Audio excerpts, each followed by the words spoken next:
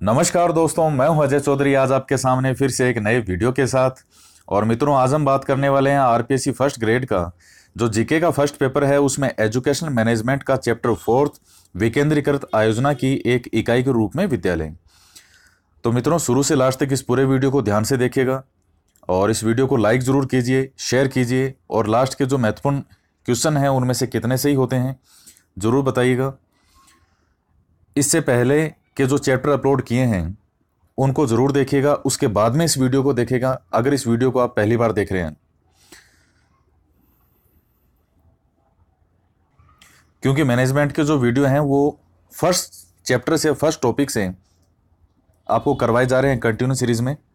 इसलिए पहले के चैप्टर देखना ज़रूरी है। अगर आपने वो नहीं देखे हैं तो। देखिए, विकेंद्रीकृत आयोजना की एक इकाई के रूप में विद्यालय। सबसे पहले हमें यह समझना है कि विकेंद्रीकरण क्या होता है। उसके बाद में समझेंगे कि विकेंद्रीकृत आयोजना आयोजना क्या होती है? किसी भी चीज़ के लिए योजना बनाना। यही होता है आयोजना, नियोजन, आयोजन, ये सब एक ही मतलब है। तो इस विकेंद्रीकृत आयोजना में इस विद्यालय का क्या महत्व है? किस प्रकार से विद्यालय में ये चीज़ जुड़ी हुई है? सबसे पहले देखेंगे विकेंद्रीकरण क्या होता है। देखिए, सत्ता का उच्च स्तर से निम्न स्तर की ओर जो हस्तांतरण है वो ही होता है विकेंद्रीकरण। जैसे मान लीजिए, एक व्यक्ति है और उस व्यक्ति के हाथ में सारी सत्ता है। सारे निर्णय लेना, डिसीज़न लेना, नीतियाँ बनाना, उनको लागू करना, सब कुछ ये वही व्यक्ति करता है। इसे तो कहा जाता है केंद्रीकरण। लेकिन अपने काम को आसान बनाने के लिए इस व्यक्ति ने अपनी शक्तियों का, अपने कार्यों का, अपनी जिम्मेदारियों का कुछ अपने अधीनस्थों में हस्तांतरण कर दिया कि ये काम तुम करोगे, ये काम तुम करोगे, ये काम तुम करोगे। यही होता है विकेंद्रीकरण। जैसे मान लीजिए एक एग्ज़ाम्पल और दूँ आपको, घर कोई घर का ही एग्ज़ाम्पल किसी का ब्याह है, मान लीजिए शादी है किसी की तो घर का जो सबसे बड़ा बुज़ुर्ग व्यक्ति है, उनकी ज़िम्मेदारी है हर चीज़ संभालना। लेकिन कार्य बेहतर तरीके से हो सके, इसलिए उन्होंने कुछ कार्य जो हैं, वो और व्यक्तियों को सौंप दिए। जैसे मान लीजिए बान का कार्य है कि जो बाँध लेने वाला व्यक्ति है, उसका सिर्फ़ यही काम होगा कि वो एक जगह बैठ जाएगा। मेन गेट है, उसके आसपास आपको बैठा दिखता भी है। उसका काम है डायरी पेन लेके और बाँध लिखना। इसके बाद में दूसरा व्यक्ति है, उसका ये काम है कि जो भी मेहमान आएँगे, उनको अंदर तक लेके जाना, उनके भोजन की व्यवस्था करना और उनसे पूछना, हालचाल पूछना, ये सब उसका काम है। तीसरे का काम है कि मेहमानों को आते ही वो पानी पिलाएगा जूस की व्यवस्था करना, यानी हर व्यक्ति को अलग अलग काम सौंप दिया। तो देखिए कि काम कितना आसान हुआ। यही है विकेंद्रीकरण, एक प्रकार से समझने के लिए। अब विद्यालय के अंतर्गत यह विकेंद्रीकरण क्यों है? एक ही उद्देश्य है कि शैक्षिक कार्यक्रमों का जो संचालन है वो उचित ढंग से हो और विद्यार्थी के विकास में सहायक हो सके। ये हमारा उद्देश्य, शिक्षा का उद्देश्य ही हमारा ये है। यहाँ भी यही उद्देश्य है और विद्यालय के अंतर्गत जो विकेंद्रीकरण है, उसके जो अंग कौन कौन से हैं? पार्ट भाग कौन कौन से हैं? अभिभावक हैं, समुदाय हैं, शिक्षक हैं। ये तीन हैं, ये इस विकेंद्रीकरण के प्रमुख अंग माने जाते हैं। अभिभावक से आप समझते हैं, अभिभावक कौन होते हैं? किसी भी विद्यार्थी के माँ बाप या जो भी वो घर में उसके जो बड़े हैं, वो अभिभावक। शिक्षक जो विद्यालय में टीचर हैं, जो आप भी बनेंगे, भविष्य के टीचर। समुदाय में कौन आते हैं? उनके आसपास के समाज के जो रहने वाले कुछ मान्य लोग हैं, उसमें समाज से भी आ सकते हैं। समाज से भी होते हैं, सीनियर जैसे आर एस हैं आई एस हैं, सीनियर वकील हैं, अच्छे लोग हैं। ये जो इस प्रकार से आसपास के समाज में कुछ बड़े जो लोग माने जाते हैं, आपने देखा होगा कि जब बचपन में हम, जब भी पंद्रह अगस्त या छब्बीस जनवरी को कुछ गेस्ट आते थे तो उस गेस्ट में आसपास के समाज के लोग भी आया करते थे। यही है वो समुदाय का महत्व, और वही विकेंद्रीकरण है। कैसे? अब इसको आगे देखिएगा। अब कुछ महत्वपूर्ण परिभाषाएँ हैं, इन परिभाषाओं को देखिए। सबसे पहले हेनरी फ्योल। ये कहते हैं कि वे समस्त कार्य जिनमें अधीनस्थ की भूमिका में वृद्धि हो विकेंद्रीकरण कहलाते हैं। बिल्कुल साफ़ क्लियर बात है कि वे समस्त कार्य, वे सभी कार्य जिनमें अधीनस्थ की भूमिका में वृद्धि हो, जो अधीनस्थ हैं, उनके जो कार्य हैं, उन कार्यों में वृद्धि हो, यही है विकेंद्रीकरण। एल डी वाइट क्या कहते हैं? उच्च स्तर से निम्न स्तर के अधिकारों का स्थानांतरण। जो आपको डेफिनेशन बताई थी शुरू में विकेंद्रीकरण की, वही इन्होंने एल डी वाइट ने बताई है। उसके बाद है कीथ डेविस की। कीथ डेविस ये कहते हैं, संगठन की छोटी इकाई तक, जहाँ तक कि व्यवहारिक हो सत्ता एवं दायित्व का वितरण ही विकेंद्रीकरण कहलाता है। बहुत अच्छी परिभाषा दी है कीथ डेविस ने कि संगठन की छोटी इकाई तक, ज़्यादा कोई विशालकाय संगठन होना कोई आवश्यक नहीं है। जहाँ तक कि व्यवहारिक हो सत्ता और दायित्व का वितरण ही विकेंद्रीकरण कहलाते हैं। जहाँ तक संभव हुआ, ऐसा नहीं है कि जो मैन हेड व्यक्ति है, वो अपनी सारी शक्तियाँ ही सौंप दे अधीनस्थों को कि ये लो, आप जानो, आपका काम जाने। मुझे तो कोई मतलब नहीं, ये नहीं हो सकता है। अधिकार जहाँ तक संभव हो, जहाँ तक इसका नियंत्रण संभव हो सके, वहाँ तक इन्हें जो है अधिकार सौंप देना। यही है कि डेविस की परिभाषा। विकेंद्रीकरण के गुण क्या क्या होते हैं? कुछ इसके दोष भी हैं और गुण इसके सबसे ज़्यादा हैं। अधीनस्थों में जो मैनेजमेंट की योग्यता का विकास होना, एक हेड है और वो अपने अधीनस्थों को कुछ कार्य सौंपता है तो उन अधीनस्थों को ज़िम्मेदारी का एहसास होता है। और इस ज़िम्मेदारी के कारण वो अपना काम बेहतर से बेहतर तरीके से करने का प्रयास करते हैं। कैसे उनको सिस्टमेटिक ढंग से काम करना है तो उनके अंदर एक मैनेजमेंट का विकास होता है।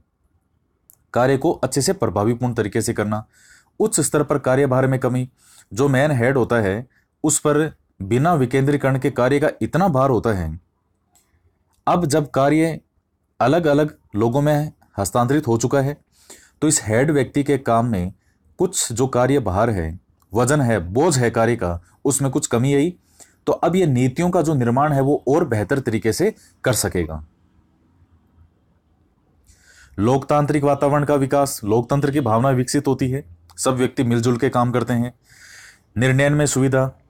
एक तो मान लीजिए, एक ही व्यक्ति लेता है डिसीज़न और एक जब अलग अलग व्यक्ति डिसीज़न लेते हैं तो कहीं ना कहीं हमारे पास एक बेहतर विकल्प आते हैं। मैं भी आपसे कुछ, बहुत सी चीज़ें हैं जो आपसे मैं कई बार उनके बारे में सुझाव लेता हूँ। कि आपके भी सुझाव दीजिए कि क्या करें। तो एक तो एक व्यक्ति डिसीज़न लेता है लेकिन फाइनल डिसीज़न लेने का काम कौन करेगा? हेड है, वही करेगा फाइनल डिसीज़न तो। लेकिन अलग अलग व्यक्तियों के जब आप विचार जानते हैं तो कुछ अच्छे अच्छे सुझाव भी आपको प्राप्त होते हैं। निरीक्षण का कार्य अधिक प्रभावी है। जैसे मैंने आपको बान वाला एग्ज़ाम्पल दिया था कि घर के जो बड़े बुज़ुर्ग हैं, वो निरीक्षण करने का निरीक्षण होता है। देखना कि जो बान वाला काम सही तरीके से कर रहा है, इन्होंने एक नज़र से देखा कि हाँ बान वाला अपनी जगह बैठा है, सही काम कर रहा है। दूसरे व्यक्ति को काम सौंपा था कि जो भी मेहमान आए, उनका भोजन वगैरह उसको ध्यान से देखें, वो भी अपना काम कर रहा है। तीसरे को फ्रूट जूस का काम सौंपा था हाँ वो भी अपना काम कर रहा है। तो निरीक्षण का कार्य अधिक तरीके से प्रभावी हो सकता है, जब सत्ता का या कार्यों का विकेंद्रीकरण होता है। अब इसके बाद में बात करते हैं दोष के बारे में।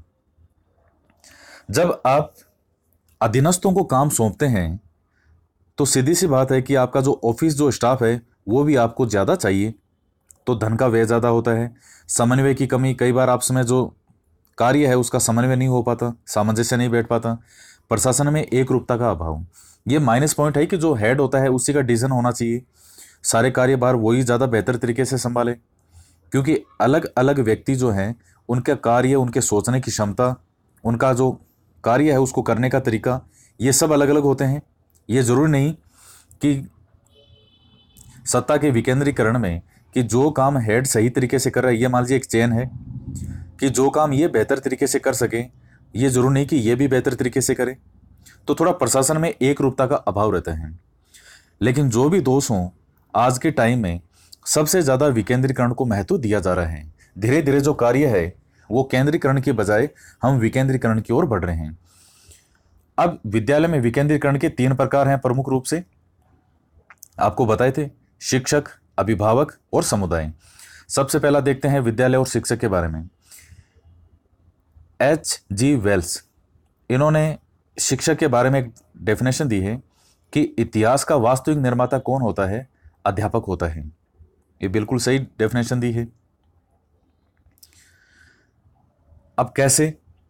देखिए, विद्यालय के अंदर आप शिक्षकों को अलग अलग काम सौंप सकते हैं। जैसे मान लीजिए, विद्यालय की साज सजा का कार्य है, सजावट का कार्य है।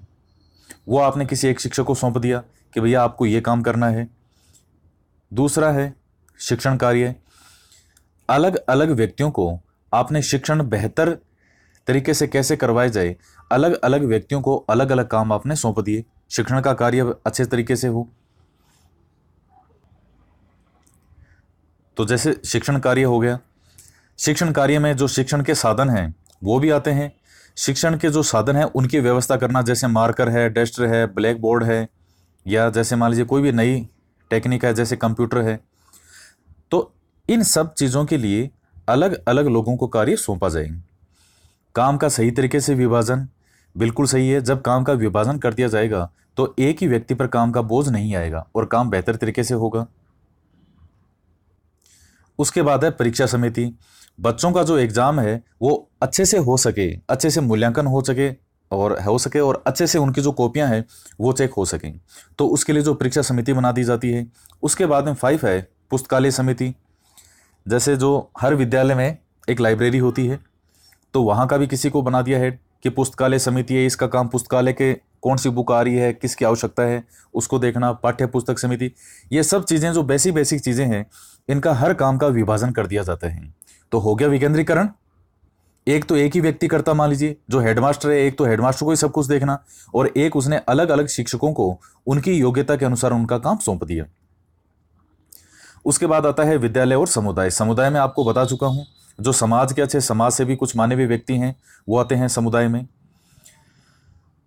शिक्षा बेहतर तरीके से हो, इसलिए इन दोनों में अच्छे संबंध होने चाहिए, घने संबंध होने आवश्यक हैं। कैसे? अब वो संबंध होंगे कैसे? कि समुदाय के सदस्यों को आमंत्रित किया जाना चाहिए विद्यालय में? आपको मैं पहले ही बताया हैं, पंद्रह अगस्त, छब्बीस जनवरी को हमारे विद्यालय में कुछ समाज के जो अच्छे समाज सेवी टाइप व्यक्ति होते थे, या कुछ आर वगैरह अफसर हैं, या दूसरे ऑफिसर होते थे, उन लोगों को आमंत्रित किया जाता था। वो व्यक्ति अपने जीवन के अनुभव, कुछ अच्छी बातें, अच्छे विचार बच्चों को सुनाते थे। स्कूल भवन का सामुदायिक कार्यों के लिए उपयोग। इससे इन दोनों में संबंध और अच्छे होंगे। आज भी जब भी किसी गाँव में शादी हो, आप गए होंगे तो जो बारात ठहराई जाती है, वो 99 परसेंट आज भी गाँवों के अंदर किसी ना किसी स्कूल में ठहराई जाती है। या तो गवर्नमेंट स्कूल होगा और या फिर प्राइवेट स्कूल होगा। आज भी। तो सामुदायिक कार्यों के लिए स्कूल भवन का उपयोग हो रहा है। पुस्तकालय का उपयोग। पुस्तकालय जो है, वो सभी के लिए ओपन होना चाहिए। केवल विद्यालय के विद्यार्थी नहीं, बाहर के जो व्यक्ति हैं, समुदाय के, समाज के, जो भी लोग हैं, समाज के बाहर का जो भी व्यक्ति है कि जो भी आए और आकर के पुस्तकालय पढ़ना चाहे, वो पढ़ सकता है। सभी को साक्षर बनाने का प्रयास। जैसे मान लीजिए, जिनकी उम्र जो काफ़ी हो चुकी होती है तो हमें इस प्रौढ़ शिक्षा के लिए प्रयास करना चाहिए कि आप जब चाहें, विद्यालय में आकर के और अपनी पढ़ाई कंटिन्यू कर सकते हैं। अभिभावक शिक्षक संघ होना चाहिए। अभिभावक शिक्षक संघ जो है, चूँकि जो अभिभावक हैं, वो रात दिन इस समाज के लोगों के साथ उठना बैठना है और इन्हीं से मिलकर के बना होता है समाज। कोई समाज अलग से तो आया नहीं है, समुदाय के लोग कहीं बाहर से तो आए नहीं है। तो ये जो अभिभावक वर्ग है, अपने आसपास के लोगों से अच्छे से परिचित होता है। तो चूँकि जो शिक्षक और अभिभावक एक संघ बना दिया जाए तो शिक्षक जो हैं वो अभिभावकों से इनके बारे में अच्छे से जानकारी ले सकते हैं कि ज़्यादा से ज़्यादा जो अच्छे लोग हैं, वो हमारे साथ जुड़े। उसके बाद में आता है भ्रमण। जो बच्चे हैं, उनको गाँव में सामुदायिक स्थान जो हैं, कई महत्वपूर्ण जगह हैं, उन पे उनको बच्चों को घुमाने ले जाते हैं। क्योंकि केवल जो बुक है, केवल बुक से ही अध्ययन नहीं होता है। शिक्षा का मतलब होता है संपूर्ण विकास। केवल नाइन्टी परसेंट वाला नंबर नहीं, खेल प्रतियोगिता का आयोजन। खेल प्रतियोगिता का आयोजन मतलब जो विद्यालय के विद्यार्थी हैं, शिक्षक हैं, वो एक तरफ़ हो गए। समाज के जो इस समुदाय के लोग हैं, ये एक तरफ़ हो गए। फिर आपस में कोई प्रतियोगिता का आयोजन हो रहा है। जैसे मान लीजिए फुटबॉल है, क्रिकेट है, कोई भी गेम का हो सकता है। उसी प्रकार से ये हो जाएगा। ये धीरे धीरे जो चीज़ें हैं, ये सब ये है कि ज़्यादा से ज़्यादा शिक्षा का बेहतर तरीके से विकास हो। फाइनल जो उद्देश्य है, वो हमें नहीं भूलना है। हमारा उद्देश्य वो है। उसके बाद है विद्यालय और अभिभावक। तो अभिभावक का तो बहुत महत्वपूर्ण रोल है। इसके लिए एसएमसी विद्यालय प्रबंधन समिति, जब आपको रीट में पढ़ाया था तो वहाँ आया था एसएमसी और यहाँ भी, इस मैनेजमेंट के अंदर भी एसएमसी अलग से टॉपिक मेंशन किया हुआ है। तो इसे हम अलग से भी पढ़ेंगे। तो इस एसएमसी में जो अभिभावक हैं, इनकी बहुत महत्वपूर्ण भूमिका होती है। बाकी कुछ एक विद्यालय के शिक्षक वगैरह भी होते हैं। तो ये विद्यालय प्रबंधन समिति है। उत्सवों का आयोजन किया जाता है ताकि जो अभिभावक हैं वो ज़्यादा से ज़्यादा भाग लें। आपने देखा होगा, जब भी विद्यालय में कोई एनुअल फ़ंक्शन होता था या बीच में कोई फ़ंक्शन हो तो जो अभिभावक हैं, जो बच्चों के पेरेंट्स हैं, उनको ज़रूर बुलाया जाता था कि आपके जो पेरेंट्स हैं, वो निश्चित रूप से आने चाहिए। इसके अलावा, बच्चों की जो भी रिपोर्ट रहती है, वो अभिभावकों के घर तक भिजवाना ताकि उनको जा रहे। शिक्षक अभिभावक संघ, इसके बारे में हम पहले बात कर चुके हैं। इसके अलावा जैसे मीटिंग वगैरह होती है, आपने देखा होगा जब हम विद्यालय में पढ़ते थे, कोई भी हमारा एग्ज़ाम होता था या मंथली, या दो महीनों से या तीन महीनों से, हमेशा ज़्यादातर मंथली हमारी होती थी पेरेंट्स मीटिंग। हमारे पेरेंट्स से माता पिता को बुलाया जाता था विद्यालय में और उनसे हमारे बारे में बात की जाती थी कि हम क्या सीख रहे हैं या कैसे जा रहे हैं आगे तो हर चीज़ के बारे में। तो देखिए यह है मित्रों, आज का टॉपिक ये समाप्त होता है। अब हम इसके कुछ महत्वपूर्ण क्वेश्चन हैं, उनको सोल्व करेंगे। सबसे पहला क्वेश्चन है, विद्यार्थियों की प्रगति से समझ जानकारी से अवगत कराना आवश्यक है। बच्चों की जो भी प्रोग्रेस हो रही है, उससे अवगत करवाना किसको आवश्यक है? क्या टीचरों को? क्या हेडमास्टर को? क्या जनप्रतिनिधियों को? या अभिभावक? तो किसको है सबसे ज़रूरी? अभिभावक। राइट आंसर होगा। दूसरा है समुदाय को विद्यालय के निकट लाने का साधन है। अभिभावक शिक्षक संघ, उत्सव, पुस्तकालय का उपयोग और सभी। तो बिल्कुल सारे सही हैं। राइट आंसर कौन सा होगा? सभी। क्वेश्चन नंबर थर्ड है। विकेंद्रीकृत विद्यालय इकाई का अंग है। विकेंद्रीकृत विद्यालय इकाई का अंग है। समुदाय, शिक्षक, अभिभावक और उपरोक्त सभी। तो हमने तीनों ही पढ़े हैं, समुदाय भी है, शिक्षक भी है और अभिभावक भी है। राइट आंसर होगा डी फोर्थ क्वेश्चन है वेलेज ने इतिहास का वास्तविक निर्माता किसे कहा है? ये डेफिनेशन बताई थी आपको। प्रधानाध्यापक, छात्र, अध्यापक और अभिभावक। तो इसका राइट आंसर क्या होगा? अध्यापक, जो शिक्षक है, उसे वेलेज ने इतिहास का वास्तविक निर्माता कहा है। तो दोस्तों, ये आज का वीडियो यहीं समाप्त होता है। इसके साथ ही वीडियो को लाइक प्लीज़ ज़रूर कीजिएगा। ज़्यादा से ज़्यादा अपने मित्रों के साथ शेयर कीजिए। और इससे पहले के जो वीडियोज़ हैं, वो लगातार देखते रहिए। एक एक वीडियो आपके लिए महत्वपूर्ण है। हिस्ट्री के वीडियो अपलोड हो रहे हैं, साइंस के वीडियो अपलोड हो रहे हैं, और भी ढेरों वीडियो आपके लिए आने वाले समय में आने वाले हैं। तो कंटिन्यू जुड़े रहिए और आपको भी मेहनत करनी है साथ में। ये जो भी आपको यहाँ मैटर बताया जाता है, अपने अगर आप नोट्स बना रहे हैं, अच्छे से इनको नोट कीजिए एक एक चीज़ को, आराम से। तो आज की वीडियो में इतना ही। मिलते हैं नेक्स्ट वीडियो में एक नए टॉपिक के साथ। जय हिंद, जय भारत।